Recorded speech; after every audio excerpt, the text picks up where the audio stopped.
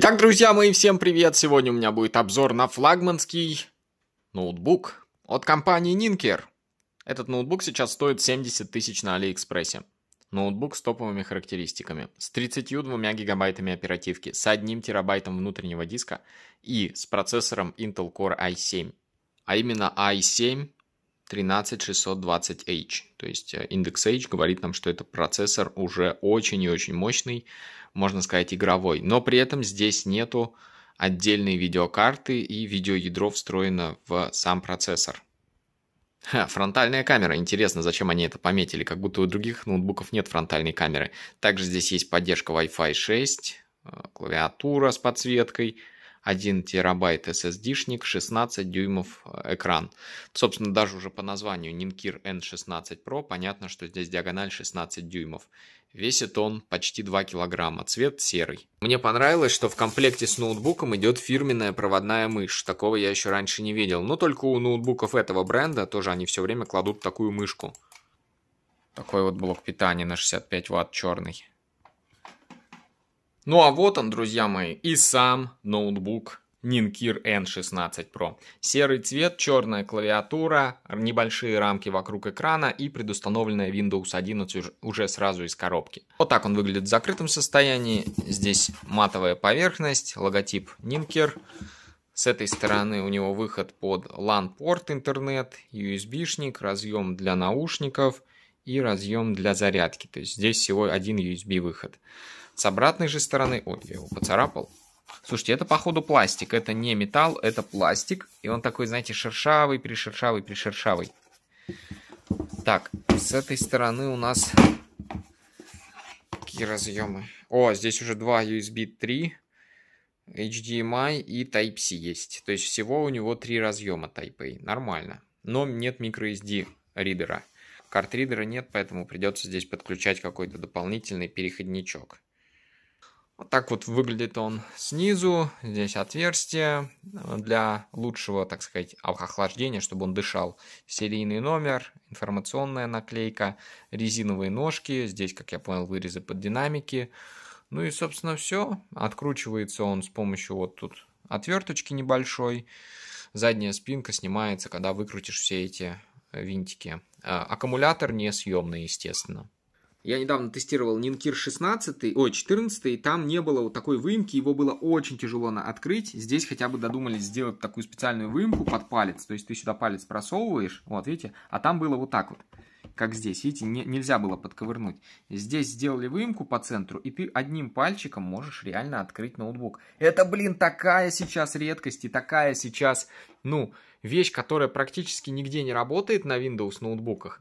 Это типа все говорили, отмечали, что на макбуках так работает, и это очень удобно. И здесь просто Нинкир, китайский ноутбук, делает это. Но единственное, я не понимаю, почему у них нельзя было сделать на всех моделях так. Почему на, этой, на этом это все нормально работает, на других нет.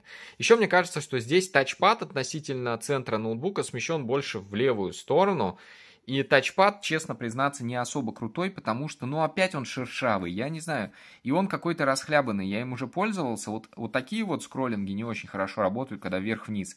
То есть я бы по-любому к этому ноутбуку подключал дополнительно мышку, потому что тачпад здесь на троечку из 5 баллов. Но зато здесь есть сканер. Э, в тачпаде встроен сканер отпечатков, то есть чтобы нам каждый раз не вводить какой-то код-пароль для разблокировки нашего ноутбука, мы можем сделать вот так – и все, и он сразу автоматически считывает наш отпечаток как телефон и разблокируется. В этом плане удобно. Но сам тачпад, даже слышно, да, палец по нему скользит не очень хорошо. Да и сам тачпад, да, я говорю, вот эти вот свайпы такие, они, ну, не совсем идеально отрабатывают. Зато неплохая клавиатура. Клавиатура вообще нет, нет никаких претензий, клавиатура сделана классно. Плюс у клавиатуры есть еще подсветка клавиш, в темноте это все работает. Ну, сейчас это не видно будет, потому что... Так, сейчас. Подождите, понизил экспозицию. Надо нажать FN и... Что она не включается? А, вот, F9 не то нажал. Вот, видите? Сейчас экспозицию еще раз понижаю. Хоп. И здесь есть подсветочка. Но это хорошо будет видно в полной темноте. Вот я понизил яркость экрана на максимум. И смотрите, у меня сейчас выключена подсветка клавиш. Здесь есть два режима, как и на прошлых ноутбуках Ninkir. То есть это вот слабая подсветка и включается еще один режим мощной подсветки. Очень красивая белая подсветочка, прям как на макбуках. Смотрится топово. Если делать фотки ночью, как ты сидишь, работаешь, а, руку вот так на клавиатуру, все, как будто ты реально крутой чувак, купил себе крутой э, ноутбук с подсветкой, с офигенной. Все подсвечивается равномерно, мне очень нравится эта подсветка, реально выглядит просто бомбезно. И можно даже ее сделать чуть послабже, если вам не нравится такая яркая, сильно по глазам бьет, можно сделать вот такую вот. Она такая лайтовая, но все равно все видно, офигенно. Люблю ноутбуки с подсветкой клавиш. Вот, можно ее вообще выключить. Днем, естественно, вырубайте, чтобы не тратить энергию, чтобы лишний раз не горели это, не горела подсветка. Также, что еще по клавиатуре? Она не сильно громкая, то есть печатать можно не сильно громко, там, если сидите где-то там аккуратненько в библиотеке, чтобы не шуметь. Раз, раз, кнопочки нажимаются мягенько и особо не шумят. Ну, офигенно, офигенно. По клаве у них вообще никаких претензий. Вот тачпад, да, не особо, а вот клавиатура просто идеально сделана. И кнопка нормально вынесена, кнопка включения вверху клавиатуры, а не как у 14 модели была вот здесь сбоку. Это очень неудобно было включать ноутбук, сейчас она просто находится вот здесь. Кстати, а как здесь повышается яркость экрана? Смотрите, зажимаем FN и вот эту вот кнопочку а, вверх, либо вниз. И это регулирует яркость. А вот это регулирует громкость. Все удобно, все очень просто. Если мы ее просто нажимаем, то ничего не происходит. Нужно именно с зажатием а, FN. Итак, проверочка этого супермощного железа. Что у нас? i7-13620H. Ну что, проверим. 10 ядер, 16 потоков, один процессор. Очень мощный, конечно. 32 гига ОЗУ. Поехали. Run CPU Benchmark. Сейчас посмотрим, сколько он в Geekbench выдаст в последнем, шестом. Опа, нифига себе, 2300 и 8600 в многоядерном режиме. На самом деле это очень хороший результат. А, этот процессор реально с потенциалом большим на будущее. Но единственное, что он не игровой, потому что нет видеоядра. Если был бы, ну, то есть видеокарты отдельные, если бы стояла здесь какая-нибудь видюха отдельная, было бы вообще супер. И, кстати, этот, этот ноутбук вообще тих, тихо работает, то есть он не шумит в простое, он не включает вентиляторы. Это плюс. Следующий тест это Crystal Disk Mark. Проверяем скорость диска. 1 терабайт здесь установлен диск. Нажимаем тестирование и пошло-поехало. Кстати, экран, ну, как бы вот этот, да, крышка, это не разворачивается на 180 градусов. То есть, ну, нельзя его полностью в плоскость в одну разложить. То есть, вот максимальный угол наклона. Вот он, вот он, максимальный угол наклона. Дальше она не идет. И экран здесь не сенсорный, не сенсорный.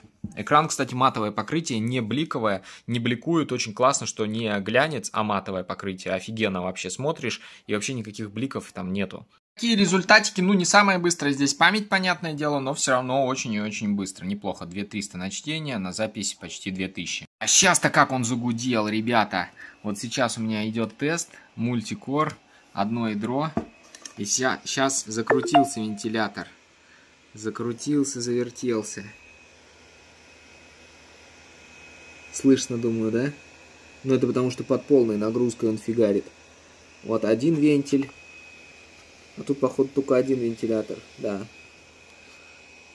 Ох, жар идет отсюда, жар идет, ребята, работает на всю катушку процессор сейчас. Просто это нагрузит его Signbench, вообще грузит по жесткому. Диспетчер задачен посмотреть, загружен полностью процессор. Такие результатики, значит, 580 в мультиядерном режиме и 102 в, многояд... э, в одноядерном.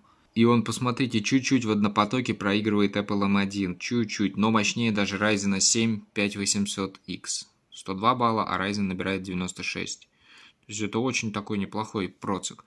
А если в многопотоке посмотреть, на каком мы месте мультикор, то здесь мы, да, тоже под M1 Max мы находимся. Но при этом мощнее, чем обычный M1.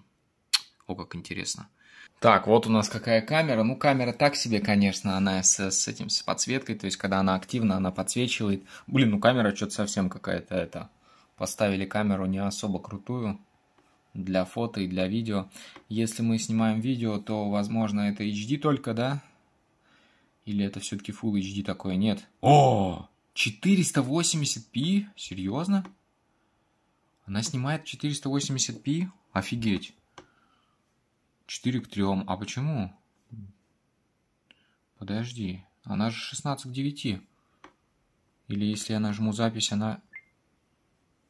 Нет, это вроде 16 к 9 съемка. Ну-ка, минуточку. Инфа о видосе. Где можно посмотреть инфу? Нет, это все-таки Full HD, 1280 на 720, но всего 25 кадров в секунду. Да, на камере здесь сэкономили. Так, ну, сделаю сейчас фоточку. Бац. И вот как она выглядит. Решил проверить, какая здесь громкость максимальная. Ставлю максимум. Добавляю. Этой кнопкой. Вот она, максималочка. Звук действительно идет из этих нижних динамиков.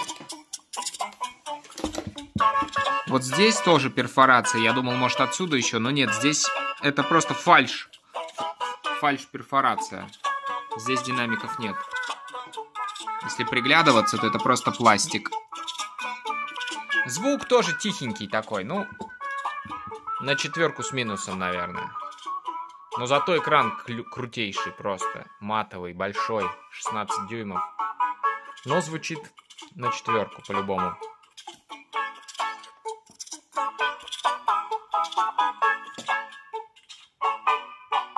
Кстати, здесь еще и заявлено, что экран 165 Гц, но я, честно говоря, этого не особо-то заметил по, ну, по ощущениям, да, то есть для меня это уже как норма. Разрешение 2560 на 1600, это нормально, и здесь аккумулятор 5500 мА позволяет проработать где-то 4-6 часов без подзарядки, ну, то есть два фильма посмотреть стандартно времени хватит. Но не сильно он, так скажем, автономный, ну, так, тоже показатель, можно сказать, средний по автономности. Итого, какой вывод можно сделать про этот ноутбук? В принципе, дизайн стандартный, мне нравится, что он открывается одним пальцем, достаточно разных разъемов, выходов, но не хватает разъема под флешки, есть сканер отпечатков, тачпад на четверочку, наверное, потому что ну, он не сильно, не сильно гладкий, и вот здесь вот зазорчик, например, с левой стороны больше, чем с правой стороны, то есть и вот внизу тоже, вот самый большой, мне кажется, вот с этой, с левой стороны.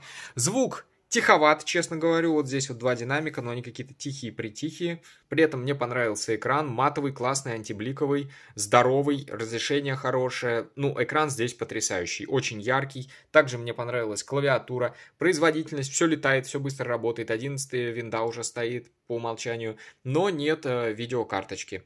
Много памяти, 32 гига оперативки, 1 терабайт э, внутренней памяти. Не особо крутая веб-камера, ну и в целом, как и в любом другом ноутбуке, есть свои плюсы и минусы. Ну, вот так вот он выглядит. Я думал, что он будет, кстати, побольше, потяжелее. Но не сказать, что он прям сильно тяжелый. 1,9 килограмма весит. То есть, в принципе, даже можно с собой куда-то брать. Но и не, и не маленький уж совсем, да, такой тоже, опять-таки, средний, по габаритам средний, не маленький, не большой. Все у этого ноутбука, знаете, такое, как бы среднее, можно сказать. Но самый, самое крутое, что здесь есть, это его процессор. Вот на таком процессоре сейчас ноутбуков еще стоит поискать. Это реально очень-очень один из самых мощных э, мобильных процессоров, который вставляется сейчас в ноутбуки именно. Так что, ребят, вот такой вот Ninkir N16 Pro. Ссылка будет в описании. Всем спасибо за просмотр, всем удачи, до скорых встреч и пока-пока.